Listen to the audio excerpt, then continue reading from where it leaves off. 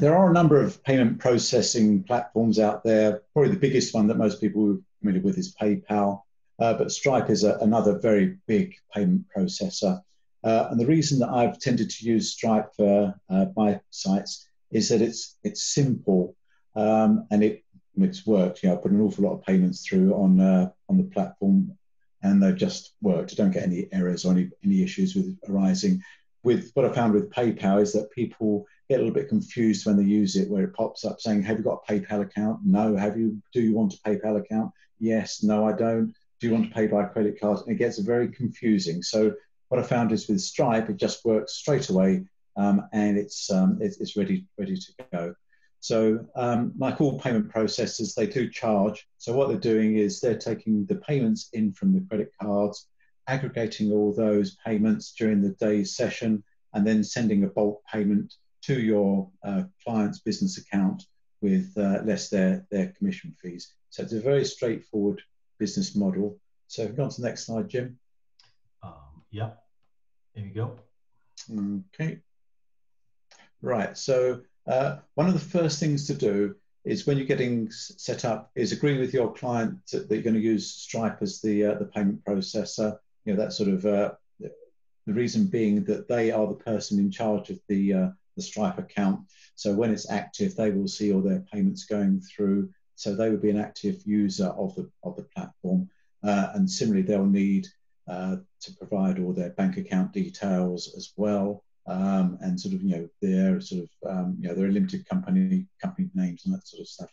So make sure that your client gets that set up uh, before you start work. Don't do it on their behalf because you'll get yourself into uh, into an awkward position where suddenly you become you know their their um, their go-to person and that's not what you want. So get them to set it up in the first instance and then ask the client to uh, make you a developer. Then they can drop out of the uh, the equation while you're doing all the development work. Uh, so that's that's a, a, sort of important thing to do when you're first starting. Okay, next slide. Okay, so once you've got the account set up, now there's quite a lot of other things in there, but I just really wanted to concentrate this evening. I know we've got sort of a sort of limited amount of time, but the bits you just need to be aware of when you're setting up your um, your connection between your um, your, your site, your WordPress and Elementor site, and the Stripe platform. So there's two things here. There's the, what the API keys there. So when you um, enable your uh, your your service on Stripe, there's API keys. Now the ones that you want in the first instance are your test keys, and there's two of those. There's the publishable key and the secret key. And then once you've got everything up and working correctly, uh, you can then uh, there's also a set of live keys as well. So it's very good from the perspective of actually allowing you to uh, check everything's working in the test environment. You can put test payments through. You can see them appear at the other end from your uh, your payment page right the way through to your your test account. Um, so it's it's a very useful tool. And then once you're happy and the client's happy that everything's ready to go, it's just a very simple case of then switching over to, to the live keys. Um, so, uh, yep, if you, Neil, go to the next slide, please, Jim. So the other thing to create is your webhooks. Now, what the webhook does, it connects your site to the um, to the platform, and all you have to do is on the right-hand side there, you see where it's got to add webhook webhook endpoint. So just add your your URL there, um, and then what events you want to send backwards and forwards to the site, um, and then that allows uh, Stripe to communicate with your site uh, securely. And at that point, you've now got the, the basics set up. So you've got connection between your site, you've got your keys ready to install into WordPress, which we'll look at in a moment, um, and you've got your, your webhooks for information to travel between the two entities. Okay, next slide, Jim. Okay, so on the this is the uh, Stripe Payments plugin. Uh, you can install. Yeah, it's a free uh, free plugin, of course. Um, so there at the top there, you've got your checkout results page URL. So what that does is that it actually um, allows you to sort of have a page that comes up when you've uh, when your uh, your customer has um, completed their transaction. That can be any sort of free form. What I've got there in fact, is that uh, this particular residents association, what we do there is that the Stripe checkout results comes up, but in fact, what it is, it's um, um, it's it's uh, which one is it now? Um, but primarily, it's uh, it gets the the, uh, the resident's name and address. So it's uh, a Ninja Forms that comes up. So they complete the form. Previously, they've made the payment. After they've made the payment, it goes to that checkout results page, um, and then you can decide whatever it is that you want to do. Uh, then on the next setting, uh, you've uh, yep. So um, can you go to one, please, Jim? That's it. That's it. Okay.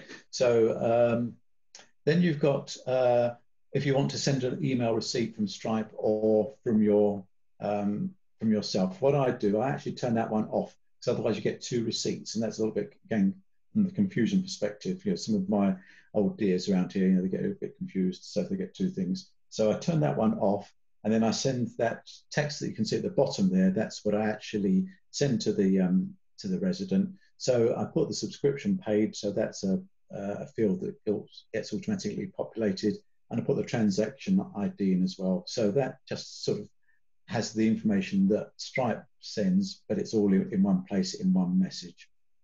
Okay, uh, next one, please, Jim. All right. Uh, That's it.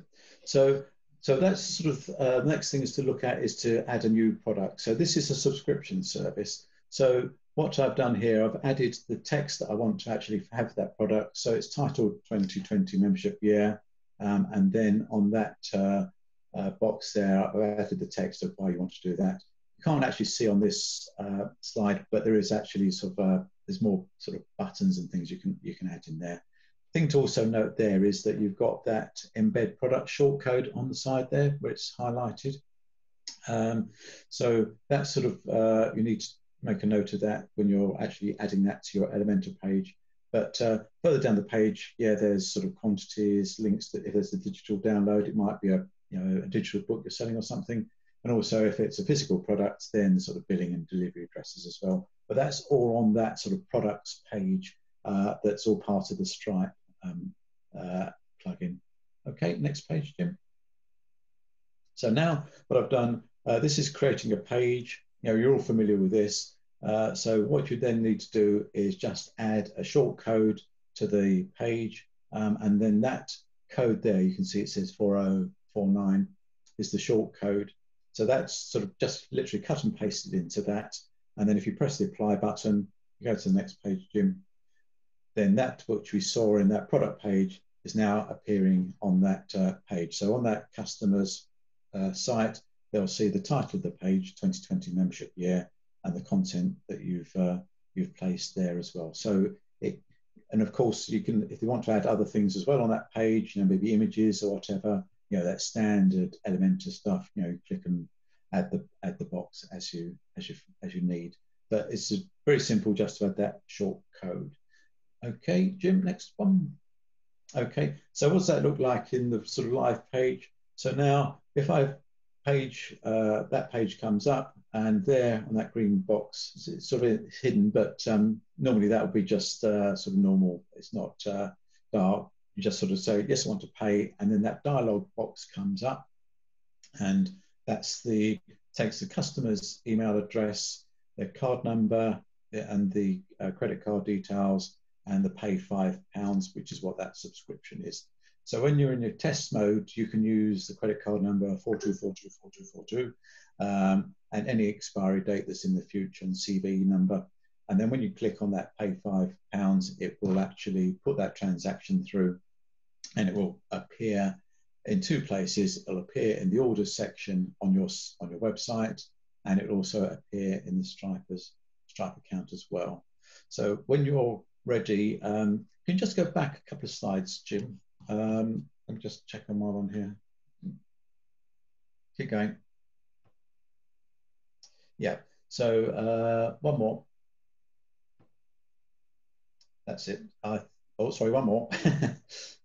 that's it. Yeah, so in the live mode there, where that's highlighted, normally you'd have that unchecked while you're doing your development. You just enable that when you're ready to go live, and then that uh, that is where your, your keys reside. So when you're putting your, um, I think I actually missed this slide, but primarily that's where the keys go in that area. So when you're doing your development, have that live mode switched off, but still add your add your keys in.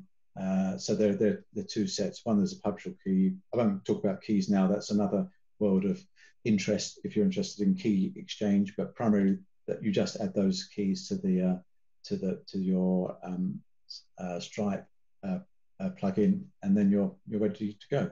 So I think in five minutes I've probably done that. So yeah, I think that was it. Yeah. Phew. Okay, thank you very much, Les. Uh, I'm guessing you've got some pretty uh, strict uh, data control kind of warnings on your site somewhere there saying. That's right, yeah. Yeah. So, uh, so the important th thing to note is that you don't, and which we put in, that we don't hold any any credit card details. Hmm. So although that, that box coming up isn't on the website, it's coming from from Stripe, and that's why it's uh, we don't see any of that. All, all we've got is a tra transaction ID, and in fact, even when you go into your Stripe account, you won't see any credit card details at all. So that's that's all secure uh, from that perspective. Uh, it goes without saying as well that your site should be HTTPS secure site um, as you're handling transactions. Uh, but that works very well, sort of taking a payment up front, and then you can sort of do other things with the uh, uh, once that transaction has, has been processed and approved. Then you can fire off emails to you know what the orders are and uh, those type of things in different directions. But primarily, they're just sort of for this session, just to sort of have a look at the actual uh, way that you set up the Stripe um, account in the first instance. Those key that we looked at are the important bits that you need both those sets um, and similarly the webhook as well. If you don't have those in, then uh, you won't be able to, uh, to do your development. Thank you so much for that, Les. I think this has been an amazing event. Again, we're having people asking about the